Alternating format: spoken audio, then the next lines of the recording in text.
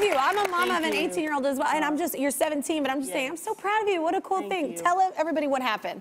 I cheer for Rockwall High School, and we have an annual homecoming parade. And so we were on the homecoming parade, and we were about, I want to say, 300 yards away from the final destination, was the, which is the Utley Stadium.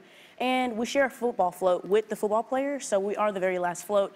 And the football players are yelling at me, Tyra, Tyra, some kid's choking. And I'm looking in front of me, but of course there are 100 plus people in front of me. So it's very difficult to spot the little boy out. And so we keep traveling for about 20 more yards. And I see a mom holding up her little boy in the air. And she was screaming, help, help, my son's choking. And his face is super red, oh. he's turning purple. It's very obvious that he can't breathe. Mm-hmm. And so I immediately jump off the float and I run down to him. I grab him from the mom and I say, hey, I got it. And I grabbed him, I tilted him downward. I gave him. You grabbed, you a 17 year old grabbed the baby from the mama and said, I got this. Yeah, yeah. Okay, keep going. Crazy. And um, I grabbed him from the mom, I tilted him downward, and I gave him three good back blows, and he ended up spitting up everything he had. Yeah. And I stood him up, I made sure he was okay, I made sure he was breathing, and then at this point, the paramedic came over and was like, hey, you're good? And checking his breathing, his eyesight, and then I fixed his hair, asked him, you okay? He's super freaked out, he was crying, but... I bet it freaked him out. Yeah, it freaked him out, but basically I made sure he was good, and I ran, I jumped back on the float, and the parade continued. You're like, you're good, right?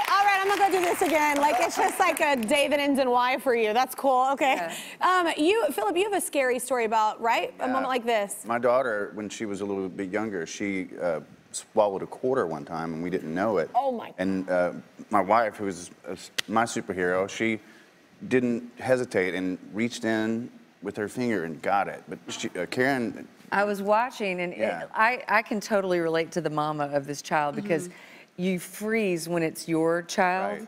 If you, I was watching Philip, and I was like, okay, I got to remember. I know CPR. I know the Heimlich.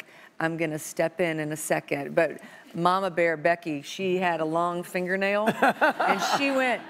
She and I, I don't know Dug that you're out. supposed to do this, but she did it because she was just like, I'm getting that quarter out of my baby's mouth. And she flicked that thing and it went flying out. And we were all like, oh my gosh. Philip was running around like crazy, Crying. crying. Yes. But I mean, Acceptable. That's acceptable. Acceptable. It's fine. Admittedly. Grown men cry. Yeah. Um, how did you know what to do? Okay. You're 17. I just wanted to remind you. Uh. yeah So my mom, she runs a group home. She's a foster parent, and Oh, so that's it, awesome. yes, it is required that I'm CPR certified. And when I was in eighth grade, I had a friend of mine choke on a granola bar, and I had no idea what to do, and that was really frightening for me. So from that point on, I knew that I would not want to be in that position again. And so I told my mom that day, and from that day, she taught me the Heimlich maneuver, the back blows, and whatever you needed to know, just in case a situation came up like that. And ever since a then, great I've mama. educated. Yes, I do. Yes. Praise your mama. Wow.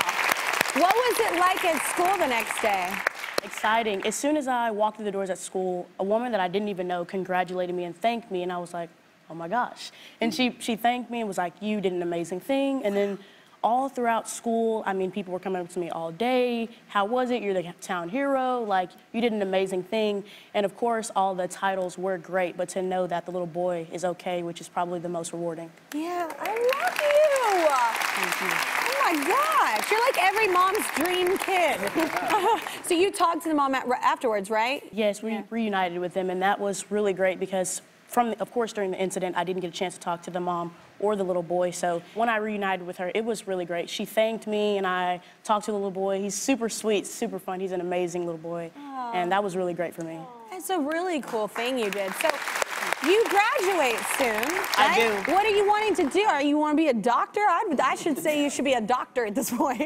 Yes, I want to attend a university in Hawaii, and then go through that, and go straight to medical school, and then. you do. You want to be. Yeah, you want yes, to be. and yes, and throughout that journey, I want to end up being a pediatric surgeon. That's amazing. Oh, I'm going to ask your mom for parenting tips. I will not stop talking until you subscribe to my YouTube channel. That's right, and I can talk a lot. Seriously, not to stop. Yep, still here, not going anywhere. I see you. Don't walk away from this.